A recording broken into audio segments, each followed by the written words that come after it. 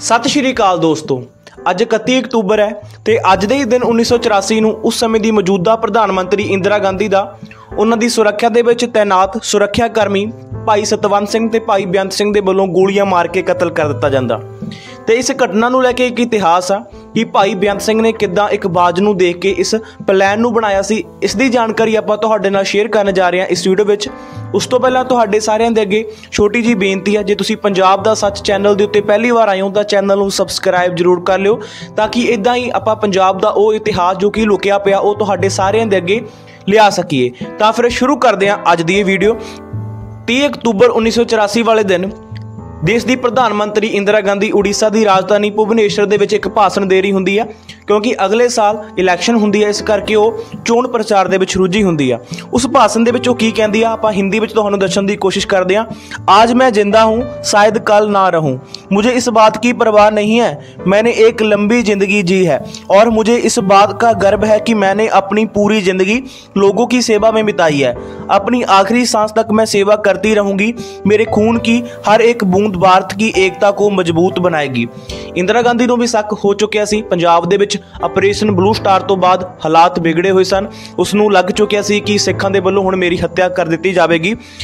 ਉਸ ਤੋਂ 27 ਘੰਟੇ ਬਾਅਦ ਇੰਦਰਾ ਗਾਂਧੀ ਦੇ ਭਾਸ਼ਣ ਤੋਂ 27 ਘੰਟੇ ਬਾਅਦ ਇੱਕ ਖਬਰ ਆਉਂਦੀ ਹੈ ਉਹ ਖਬਰ ਤਾਂ ਇੰਦਰਾ ਗਾਂਧੀ ਬਾਰੇ ਹੁੰਦੀ ਆ, ਪਰ ਇੰਦਰਾ ਗਾਂਧੀ ਨਹੀਂ ਸੀ। ਇੰਦਰਾ ਗਾਂਧੀ ਦੀ ਮੌਤ ਹੋ ਚੁੱਕੀ ਸੀ। 31 ਅਕਤੂਬਰ ਦੀ ਸਵੇਰ ਇੰਦਰਾ ਗਾਂਧੀ ਦੀ ਸੁਰੱਖਿਆ ਦੇ ਵਿੱਚ ਤਾਇਨਾਤ ਭਾਈ ਸਤਵੰਤ ਸਿੰਘ ਤੇ ਭਾਈ ਬੇਅੰਤ ਸਿੰਘ ਦੇ ਵੱਲੋਂ ਗੋਲੀਆਂ ਮਾਰ ਕੇ ਉਹਨਾਂ ਦਾ ਕਤਲ ਕਰ ਦਿੱਤਾ ਜਾਂਦਾ ਤੇ ਉਸ ਤੋਂ ਬਾਅਦ ਇੰਦਰਾ ਗਾਂਧੀ ਦੀ ਦਿੱਲੀ ਦੇ ਏਮਸ ਹਸਪੀਟਲ ਦੇ ਵਿੱਚ ਮੌਤ ਹੋ ਜਾਂਦੀ ਹੈ ਇਸ ਤੋਂ ਬਾਅਦ ਆਪਾਂ ਅੱਗੇ ਵਧਾਉਣੇ ਆ ਵੀਡੀਓ ਨੂੰ। ਭਾਈ ਬੇਅੰਤ ਸਿੰਘ ਦੀ ਮੌਕਾ ਮੌਕਾਏ ਵਾਰਦਾਤ ਤੇ ਮੌਤ ਹੋ ਜਾਂਦੀ ਹੈ। ਭਾਈ ਸਤਵੰਤ ਸਿੰਘ ਨੂੰ ਗ੍ਰਿਫਤਾਰ ਕਰ ਲਿਆ ਜਾਂਦਾ। ਤੇ ਇਸ ਘਟਨਾ ਦੇ ਲਈ ਦੋ ਹੋਰ ਲੋਕਾਂ ਨੂੰ ਦੋਸ਼ੀ ਬਣਾਇਆ ਜਾਂਦਾ। ਭਾਈ ਕੇਰ ਸਿੰਘ ਤੇ ਭਾਈ ਬਲਵੀਰ ਸਿੰਘ।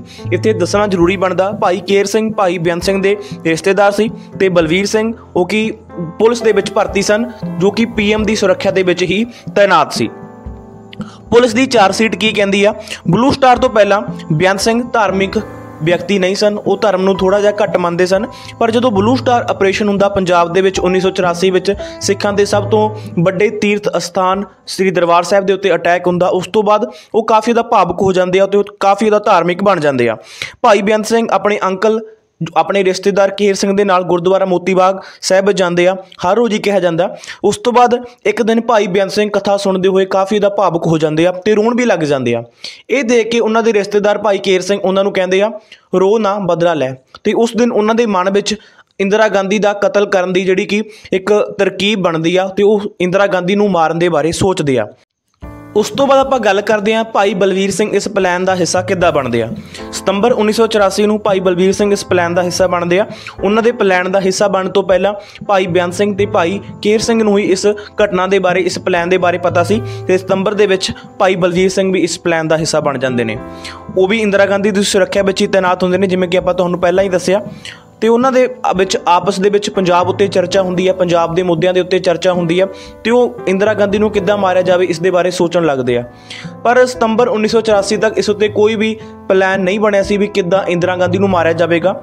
ਸਤੰਬਰ ਦੇ ਪਹਿਲੇ ਹਫ਼ਤੇ ਵਿੱਚ ਇਹ ਘਟਨਾ ਹੁੰਦੀ ਹੈ। ਬਲਵੀਰ ਸਿੰਘ ਦੁਪਹਿਰ ਦੇ ਵੇਲੇ ਡਿਊਟੀ ਕਰ ਰਹੇ ਹੁੰਦੇ ਆ। ਤਕਰੀਬਨ ਦੁਪਹਿਰ ਦੇ 1:30 ਵਜੇ ਇੱਕ ਬਾਜ ਉੱਡਦਾ ਹੋਇਆ, ਪੀਐਮ ਆਫਿਸ ਦੇ ਵਿੱਚ ਆਉਂਦਾ ਤੇ ਪੀਐਮ ਆਫਿਸ ਦੇ ਵਿੱਚ ਲੱਗੇ ਹੋਏ ਇੱਕ ਦਰਖਤ ਦੇ ਉੱਤੇ ਬੈਠ ਜਾਂਦਾ। ਤੇ ਭਾਈ ਬਲਵੀਰ ਸਿੰਘ, ਭਾਈ ਬੈਨ ਸਿੰਘ ਨੂੰ ਬੁਲਾਉਂਦੇ ਆ ਤੇ ਉਸ ਬਾਜ ਨੂੰ ਦਿਖਾਉਂਦੇ ਆ। ਉਸ ਬਾਜ ਦਾ ਸੰਬੰਧ ਉਹ ਕਹਿੰਦੇ ਆ ਵੀ ਸਿੱਖਾਂ ਦੇ 10ਵੇਂ ਗੁਰੂ ਸ੍ਰੀ ਗੁਰੂ ਗੋਬਿੰਦ ਸਿੰਘ ਸਾਹਿਬ ਮਹਾਰਾਜ ਨਾਲ ਸੀ। ਕਿਉਂਕਿ ਆਪਾਂ ਸਾਰਿਆਂ ਨੂੰ ਪਤਾ ਕਿ ਗੁਰੂ ਗੋਬਿੰਦ ਸਿੰਘ ਸਾਹਿਬ ਮਹਾਰਾਜ ਆਪਣੇ ਨਾਲ ਬਾਜ ਰੱਖਿਆ ਕਰਦੇ ਸੀ। ਭਾਈ ਬਲਵੀਰ ਸਿੰਘ ਉਹਨਾਂ ਨੂੰ ਕਹਿੰਦੇ ਆ ਕਿ ਇਹ ਗੁਰੂ ਸਾਹਿਬ ਦਾ ਆਦੇਸ਼ ਆ ਚੁੱਕਿਆ ਹੁਣ ਆਪਾਂ ਨੂੰ ਆਪਰੇਸ਼ਨ ਬਲੂ ਸਟਾਰ ਦਾ ਬਦਲਾ ਲੈਣਾ ਪਵੇਗਾ ਤੇ ਇੰਦਰਾ ਗਾਂਧੀ ਦੀ ਹੱਤਿਆ ਆਪਾਂ ਨੂੰ ਕਰਨੀ ਪਵੇਗੀ। जाएगी ਕਹਾਣੀ ਨੂੰ ਅੱਗੇ ਵਧਾਉਂਦੇ ਆ 14 ਅਕਤੂਬਰ 1984 ਵਾਲੇ ਦਿਨ ਬੇਅੰਤ ਸਿੰਘ ਕੁਰਤਾ ਪਜਾਮਾ ਪਹਿਨ ਕੇ ਆਪਣੇ ਘਰੋਂ ਨਿਕਲਦੇ ਆ ਤੇ ਆਪਣੇ ਰਿਸ਼ਤੇਦਾਰ ਕਹਿਰ ਸਿੰਘ ਨੂੰ ਨਾਲ, ਕੇਹਰ ਸਿੰਘ ਨੂੰ ਨਾਲ ਲੈਂਦੇ ਆ ਤੇ ਉਹ ਗੁਰਦੁਆਰਾ ਮੋਤੀ ਬਾਗ ਸਾਹਿਬ ਜਾਂਦੇ ਆ, ਮੱਥਾ ਟੇਕਦੇ ਆ। ਉਸ ਤੋਂ ਬਾਅਦ ਆਰ ਕੇ ਪੁਰਮ ਦੇ ਸੈਕਟਰ 6 ਦੇ ਗੁਰਦੁਆਰਾ ਸਾਹਿਬ ਜਾਂਦੇ ਆ ਤੇ ਉੱਥੇ ਜਾ ਕੇ ਉਹ ਅੰਮ੍ਰਿਤ ਪਾਣ ਕਰਦੇ ਆ, ਅੰਮ੍ਰਿਤ ਨੂੰ ਸੱਕ ਲੈਂਦੇ ਆ। ਕਿਉਂਕਿ ਉਹ ਬਚਪਨ ਤੋਂ ਕੋਈ ਧਾਰਮਿਕ ਵਿਅਕਤੀ ਨਹੀਂ ਸਨ, ਉਹਨਾਂ ਨੇ ਧਰਮ ਨੂੰ ਕੋਈ ਜ਼ਿਆਦਾ ਨਹੀਂ ਮੰਨਿਆ ਸੀ। ਆਪਣੀ ਭੁੱਲ ਨੂੰ ਬਖਸ਼ਾਉਣ ਦੇ ਲਈ ਉੱਥੇ ਝਾੜੂ ਵੀ ਲਗਾਉਂਦੇ ਆ। ਉਸ ਤੋਂ ਬਾਅਦ 17 ਅਕਤੂਬਰ ਵਾਲੇ ਦਿਨ ਉਹਨਾਂ ਦੀ ਪਤਨੀ ਦਾ ਨਾਮ ਸੀ ਭਾਈ ਬੇਅੰਤ ਸਿੰਘ ਦੀ ਪਤਨੀ ਦਾ ਨਾਮ ਸੀ ਬੀਬੀ ਬਿਮਲ ਕੌਰ ਤੇ 17 ਅਕਤੂਬਰ ਨੂੰ ਗੁਰਦੁਆਰਾ ਸੀਸਗੰਜ ਸਾਹਿਬ ਦੇ ਵਿੱਚ ਲਿਜਾ ਕੇ ਉਹ ਆਪਣੀ ਪਤਨੀ ਨੂੰ ਵੀ ਅੰਮ੍ਰਿਤ ਛਕਾ ਦਿੰਦੇ ਆ।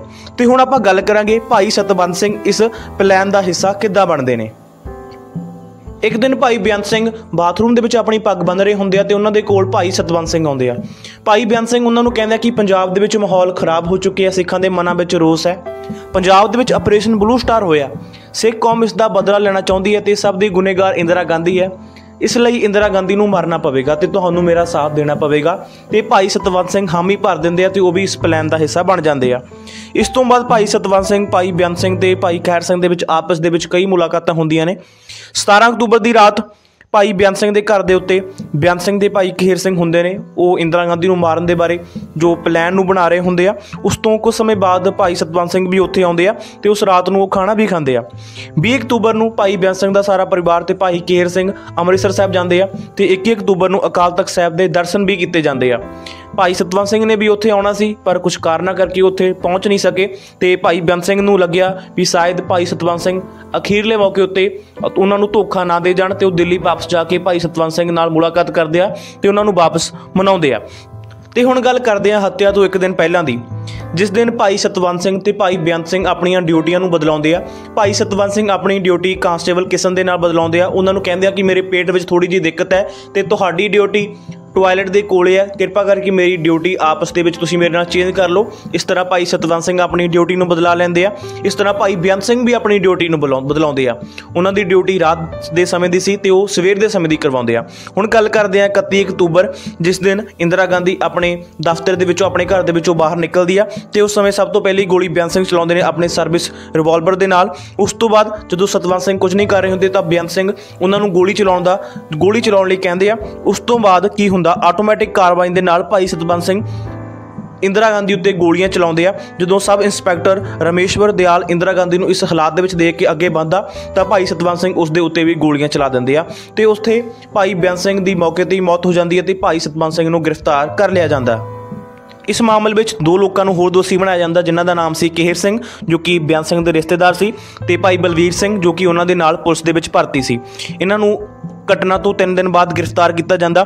ਪੁਲਿਸ ਦੀ ਚਾਰਸੀਟ ਇਹ ਕਹਿੰਦੀ ਹੈ ਕਿ ਬਲਵੀਰ ਸਿੰਘ ਦੀ ਜੇਬ ਦੇ ਵਿੱਚੋਂ ਇੱਕ ਪੇਪਰ ਮਿਲਿਆ ਸੀ, ਜਿਸ ਦੇ ਉੱਤੇ ਅਲੱਗ-ਅਲੱਗ ਤਰੀਕਾਂ ਲਿਖੀਆਂ ਹੋਈਆਂ ਸਨ। ਸੈਸ਼ਨ ਕੋਰਟ ਦੇ ਵਿੱਚ ਮੁਕੱਦਮਾ ਜਾਂਦਾ, ਜਿੱਥੇ ਤਿੰਨਾਂ ਦੋਸ਼ੀਆਂ ਨੂੰ ਫਾਂਸੀ ਸਜ਼ਾ ਦਿੱਤੀ ਜਾਂਦੀ ਹੈ, ਭਾਈ ਕੇਰ ਸਿੰਘ ਨੂੰ, ਭਾਈ ਬਲਵੀਰ ਸਿੰਘ ਨੂੰ ਤੇ ਨਾਲ ਦੀ ਨਾਲ ਆਪਣੇ ਭਾਈ ਸਤਵੰਤ ਸਿੰਘ ਨੂੰ ਤੇ ਭਾਈ ਬਿਆਨ ਸਿੰਘ ਦੀ ਮੌਕੇ ਤੇ ਮੌਤ ਹੋ ਚੁੱਕੀ ਸੀ। ਜਦੋਂ ਇਹ ਮਾਮਲਾ ਹਾਈ ਕੋਰਟ ਦੇ ਵਿੱਚ ਜਾਂਦਾ, ਤਾਂ ਫਾਂਸੀ ਦੀ ਸਜ਼ਾ ਬਰਕਰਾਰ ਰਹਿੰਦੀ ਹੈ। ਜਦੋਂ ਇਹ ਮਾਮਲਾ ਸੁਪਰੀਮ ਕੋਰਟ ਦੇ ਵਿੱਚ ਜਾਂਦਾ, ਤਾਂ ਸੁਪਰੀਮ ਕੋਰਟ ਨੂੰ ਭਾਈ ਬਲਵੀਰ ਸਿੰਘ ਦੇ ਮਾਮਲੇ ਦੇ ਵਿੱਚ ਪੁਲਿਸ ਦੇ ਦਾਅਵਿਆਂ ਉੱਤੇ ਯਕੀਨ ਨਹੀਂ ਸੀ। ਸੁਪਰੀਮ ਕੋਰਟ ਕਹਿੰਦੀ ਆ ਕਿ ਕਿੱਦਾਂ ਕੋਈ ਵਿਅਕਤੀ 1 ਮਹੀਨੇ ਤੱਕ ਸਾਜ਼ਿਸ਼ ਦਾ ਪੇਪਰ ਆਪਣੀ ਜੇਬ ਦੇ ਵਿੱਚ ਲੈ ਕੇ ਘੁੰਮ ਸਕਦਾ, ਤੇ ਉਹ ਸੁਪਰੀਮ ਕੋਰਟ ਇਹ ਵੀ ਟਿੱਪਣੀ ਕਰਦੀ ਆ ਕਿ ਭਾਈ ਬਲਵੀਰ ਸਿੰਘ ਨੂੰ ਘਟਨਾ ਤੋਂ ਇੱਕ ਦਿਨ ਬਾਅਦ ਗ੍ਰਿਫਤਾਰ ਕੀਤਾ ਗਿਆ ਤੇ ਉਸ ਤੋਂ ਬਾਅਦ 33 ਦਿਨਾਂ ਤੱਕ ਗੈਰ ਕਾਨੂੰਨੀ ਤਰੀਕੇ ਦੇ ਨਾਲ ਉਹਨਾਂ ਨੂੰ ਹਿਰਾਸਤ ਦੇ ਵਿੱਚ ਰੱਖਿਆ ਗਿਆ। ਇਸ ਦੇ ਬਾਅਦ ਭਾਈ ਬਲਵੀਰ ਸਿੰਘ ਨੂੰ ਰਿਹਾ ਕਰ ਦਿੱਤਾ ਜਾਂਦਾ, ਪਰ ਭਾਈ ਕੇਰ ਸਿੰਘ ਤੇ ਭਾਈ ਸਤਵੰਤ ਸਿੰਘ ਦੀ ਜਿਹੜੀ ਫਾਂਸੀ ਦੀ ਸਜ਼ਾ ਉਹ ਬਰਕਰਾਰ ਰੱਖੀ ਜਾਂਦੀ ਆ। ਭਾਈ ਕੇਹਰ ਸਿੰਘ ਤੇ ਭਾਈ ਸਤਵੰਤ ਸਿੰਘ ਦੀ ਫਾਂਸੀ ਦੀ ਸਜ਼ਾ ਵੀ ਕਈ ਵਾਰ ਟਲਦੀ ਆ। ਇੱਥੋਂ ਤੱਕ ਕਿ ਦਸੰਬਰ 1988 ਦੇ ਵਿੱਚ ਵਕੀਲਾਂ ਦੀਆਂ ਦਲੀਲਾਂ ਦੇ ਕਰਕੇ ਬਲੈਕ ਵਾਰੰਟ ਵੀ ਰੱਦ ਹੋ ਜਾਂਦਾ? ਬਲੈਕ ਵਾਰੰਟ ਦਾ ਮਤਲਬ ਇਹ ਹੁੰਦਾ ਕਿ ਹੁਣ ਤਾਂ ਫਾਂਸੀ ਹੋਣੀ ਹੀ ਹੈ, ਕੋਈ ਕਾਨੂੰਨੀ ਦਾਅ ਵਿੱਚ ਨਹੀਂ ਲੱਗੇਗਾ, ਪਰ 1988 ਦੇ ਵਿੱਚ ਇਹਨਾਂ ਦੇ ਕੇਸ ਦੇ ਵਿੱਚ ਬਲੈਕ ਵਾਰੰਟ ਵੀ ਰੱਦ ਹੋ ਜਾਂਦਾ। ਪਰ ਅਖੀਰ 6 ਜਨਵਰੀ 1999 ਦੇ ਵਿੱਚ ਤਿਹਾੜ ਜੇਲ੍ਹ ਦੇ ਵਿੱਚ ਭਾਈ ਸਤਵੰਤ ਸਿੰਘ ਦੇ ਭਾਈ ਕੇਰ ਸਿੰਘ ਨੂੰ ਫਾਂਸੀ ਦੀ ਸਜ਼ਾ ਦੇ ਦਿੱਤੀ ਜਾਂਦੀ ਆ। ਤੇ ਉਸ ਤੋਂ ਬਾਅਦ ਕਿੱਦਾਂ ਦਿੱਲੀ ਦੇ ਵਿੱਚ ਦੰਗੇ ਹੋਏ, ਸਿੱਖਾਂ ਦਾ ਨਰਸੰਘਾਰ ਹੋਇਆ, ਕਿੰਨੇ ਹੀ ਮਾਸੂਮਾਂ ਨੂੰ ਮਾਰਿਆ ਗਿਆ, ਉਸ ਦੇ ਉੱਤੇ ਵੀ ਆਪਾਂ ਵੀਡੀਓ ਬਣਾਵਾਂਗੇ। ਤੁਸੀਂ ਬਸ ਚੈਨਲ ਨੂੰ ਸਬਸਕ੍ਰਾਈਬ ਕਰ ਲਿਓ, ਚੈਨਲ ਨੂੰ ਪ੍ਰਮੋਟ ਕਰਿਓ, ਆਪਣੇ ਦੋਸਤਾਂ ਮਿੱਤਰਾਂ ਤੱਕ ਪਹੁੰਚਾਇਓ ਤਾਂ ਕਿ ਆਪਾਂ ਸਿੱਖ ਕੌਮ ਦਾ ਇਤਿਹਾਸ ਜੋ ਕਿ ਲੁਕਿਆ ਪਿਆ ਕਿਸੇ ਕਿਤਾਬਾਂ ਵਿੱਚ ਉਹਨਾਂ ਨੂੰ ਆਪਾਂ ਤੁਹਾਡੇ ਤੱਕ ਪਹੁੰਚਾ ਸਕੀਏ। ਉਮੀਦ ਕਰਦੇ ਹਾਂ ਇਹ ਜਿਹੜੀ ਵੀਡੀਓ ਉਹ ਤੁਹਾਨੂੰ ਚੰਗੀ ਲੱਗੀ ਹੋਵੇਗੀ। ਜੇ ਵੀਡੀਓ ਚੰਗੀ ਲੱਗੀ ਆ, ਵੀਡੀਓ ਨੂੰ ਲਾਈਕ ਜ਼ਰੂਰ ਕਰ ਦਿਓ। ਧੰਨਵਾਦ ਜੀ ਸਾਰਿਆਂ ਦਾ। ਵਾਹਿਗੁਰੂ ਜੀ ਕਾ ਖਾਲਸਾ, ਵਾਹਿਗੁਰੂ ਜੀ ਕੀ ਫਤਿਹ।